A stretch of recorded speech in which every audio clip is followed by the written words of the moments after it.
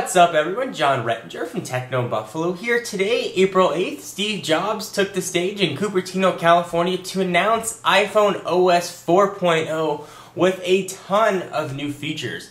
So let me go ahead and jump into everything he went over. If you see me look down, it's because I'm looking at some notes. This conference just ended. So he started off by talking about the iPad, naturally, since it just launched said they'd sold 300,000 the first day and 450,000 up until today, which is a huge milestone. And that's even before the 3G model was released. Uh, said over 3.5 million apps were bought for the iPad and over 4 billion total apps, which is just incredible, especially if you consider maybe a 99 cent average price point. Apple's just printing money with this App Store model. Okay, so now on to OS 4.0 over 1,500 new developer APIs, including uh, camera access, quick look access, in-app SMS, and calendar access. So developer APIs are fine, but what about the features the end user is going to get? Well, there are over 100 new features in OS 4.0, uh, and let's get to some of the smaller ones, and then go over sort of the larger ones afterwards. So you now have tap to focus video, so when you're recording video, tap the screen, it'll start to focus just like it does on the 3GS. Uh, you now can customize the background on the home screen and the lock screen, uh, just like you can on the iPad. You now have access to Bluetooth keyboards, you can connect and type away. Uh, there's now a built-in spell check application that sort of worked its way into native apps uh, like there is on the iPad as well. And now you're going to get a five times digital zoom, uh, which is quite nice. The iPhones have been missing any sort of digital zoom built into the camera app. Uh, so that'll be a very welcome addition. So enough of the little features. Let's talk about the big ones. And uh, they started off by breaking it into seven big services and seven big features. So let's talk about the seven big services first. Uh, number one, and the biggest, biggest thing that's found its way into OS 4.0 is multitasking. And this isn't just some sort of fancy app switching. This is actually true multitasking is finally coming to the iPhone platform. I hope you heard me correctly. Finally, multitasking. All you do, you double tap the home screen, it'll pull up an application launcher, you pick what you want, and it'll launch that application right in the background. They didn't say how many you could run in the background, uh, but Steve Jobs did flick through uh, more than six, so at least that is the limited number that you can run. And these truly run in the background, so you can have a ton of applications going at the same time uh, which has a lot of other uses, as I'm going to talk about right now. So first, background audio. Uh, you can now, let's say, run Pandora in the background while you're browsing the web or doing something else. Or any other application that plays audio will now be able to run in the background. Quite nice. Next, voice over IP in the background, which means you can now use Skype, which will work over 3G, run that in the background, and you can still receive regular calls, receive Skype calls, and um, receive Skype SMSs as well and regular uh, info SMSs. So you'll have access to really everything right on your phone, which is really cool uh, to be able to run Skype in the background. It's something, a feature that I've really been looking forward to. So if you're access to uh, 3G or in Wi-Fi, go ahead and make your Skype calls without any problem. Next is uh, background location, which is a big one for me because I get lost going anywhere. Uh, I can now have my GPS applications running in the background. So if I'm navigating to a restaurant and a phone call comes in, I'll be able to make the phone call and I'll still be able to hear left turn in 10 feet. Or if I'm listening to music and I've got my iPod uh, playing, it'll still tell me left turn in 10 feet, uh, which is a really, really welcome feature. Uh, also, the background notification, background locations also to be used for uh, geolocation applications, uh, things like Loopt, uh, but if you want to opt out of those, you're going to have new privacy settings on your phone. So any application you have that asks for your location, you can turn it off so you don't have to broadcast to the world uh, that you're going to the bathroom, although some people like to do that.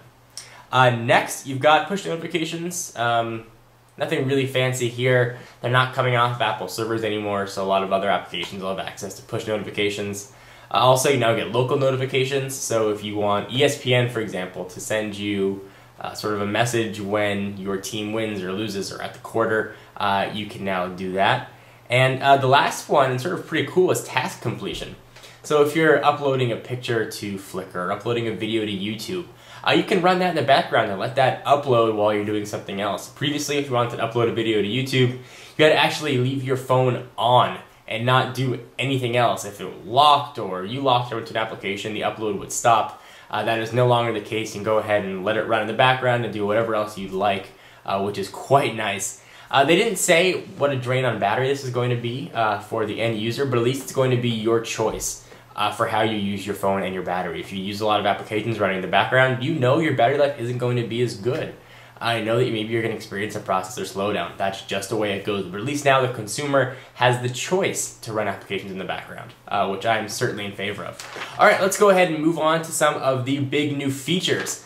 Uh, the first really big new feature is folders, uh, which is a pretty cool new feature. Essentially, essentially what you do is you take an icon, you drag it till it starts doing its little jiggly dance, and you drag it over another icon, and that creates a folder. Now it'll do something called smart naming. If there are two games, it'll name the folder games, or you can name it uh, whatever else you'd like. Simple folder application. It turns sort of one icon into a stack of looking icons, uh, which makes it a lot easier to sort of manage everything that you're doing.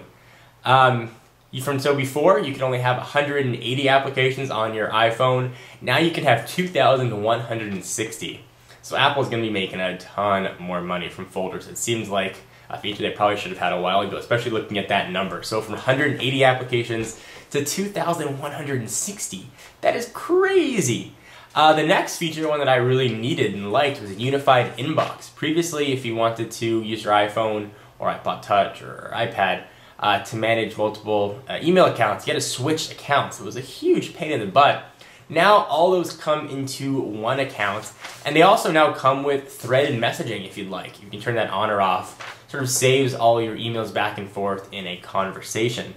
Uh, you also can now open attachment with any related application. So if you're on the iPad, for example, and you get a Word document, you can choose to open that up in Pages, or you can open it up in another related viewer. If you've got a special PDF viewer of choice, you can open it up in that application. You're not limited to what Apple tells you you have to do.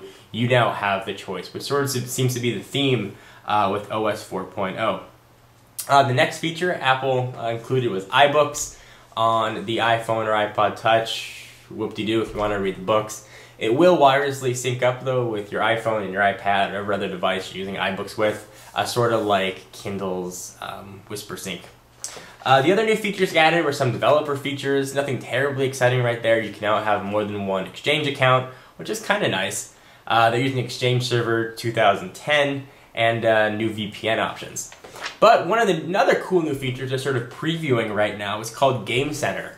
Uh, think of it like Xbox Live or PlayStation Network for your iPhone, iPod Touch, or iPad. Uh, you're going to have achievements, leaderboards, uh, game matchups, uh, which is really cool. The the i uh, devices have a ton of games out there. Now you sort of have a platform where you compete with friends, see how you're doing against each other, set up matches, um, be able to get your sort of online play on. If I were Nintendo, Microsoft, and Sony, I would be very worried.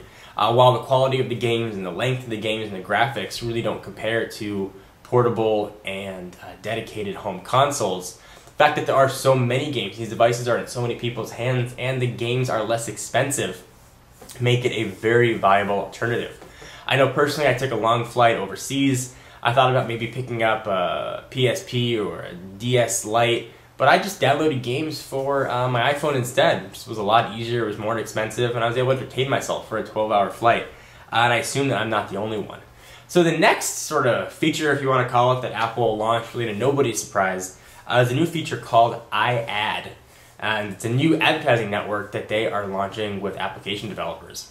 Uh, previously, if you wanted to put an ad in your application, it was pretty much a static banner. You clicked it, took you to the advertiser's webpage, and that was uh, the extent of it. A lot of people and a lot of developers want to keep their applications free and sort of subsidize their work with ads. Well, Apple's new ad network, which is going to give a 60-40 split, uh, 60 going to developers, 40 to Apple, uh, really gives you just a completely immersive uh, advertising environment. Uh, Steve Jobs said it evokes emotion and interactivity. Essentially what it lets you do is create full apps within the advertisement. So he showed an advertisement for Toy Story. Uh, if they click on it, it launches sort of almost a new application. Lets you play Toy Story games, download Toy Story videos, uh, watch Toy Story videos, and uh, do all kinds of sort of mini games uh, within it. So the ad now stays within the application. It's sort of up to um, developers to create uh, applications that better use these ads Uh, and Apple is claiming they're going to serve really fantastic interactive ads to the developers so they can get their data, their applications ready to be used with this new service within an afternoon. So I don't know how this is going to affect the end user. It's going to be really annoying or it's going to be some welcome user features. Um, but I guess, you know, we'll have to wait and see on that. So when is this coming? That is a big question in everybody's mind. Uh, previews of it will be released today to developers. Uh, will be coming this summer to iPhone 3GS and third generation iPod Touch users, to second generation iPod Touch users and iPhone 3G and previous generation iPhone users. Uh, you will get access to summer as well, but you will not get access to some key features uh, like multitasking, for example. The rest of the features that will be omitted uh, haven't been released yet. Uh, multitasking is certainly very processor intensive, so you're not going to have access to that, unfortunately, on some of the older devices. Uh, sort of forcing an upgrade, I suppose. And if you have an iPad, uh, it's going to be coming in the fall. No word whether or not it was going to cost money or not, but I would assume Apple's previous models uh, will hold true here. So guys, the question remains, are you excited about iPhone OS 4.0? It seems like a lot of the um, things people have been saying negatively about the iPhone are sort of being slashed one by one, uh, me included. Uh, multitasking has been taken care of. Uh, background images have been taken care of. Uh, I would have liked to have seen better notifications. We still didn't see that. And I would have liked to seen sort of a redesigned lock screen and home screen. Really didn't see that, uh, with the exception of folders. But finally, multitasking makes it a much more viable option, I think, for power users. So are you excited, not excited? Can you not wait to get your hands on this? Or do you really not care and go pick up an Android device anyway? Uh, really curious to hear what you guys have to say. Anyway, I'm Jon Rettinger from Techno Buffalo, and for the rest of your iPhone OS 4.0 news, uh, be sure to check out technobuffalo.com for a ton more coverage. Anyway, Jon Rettinger, and I'll see you in the next video. Bye-bye.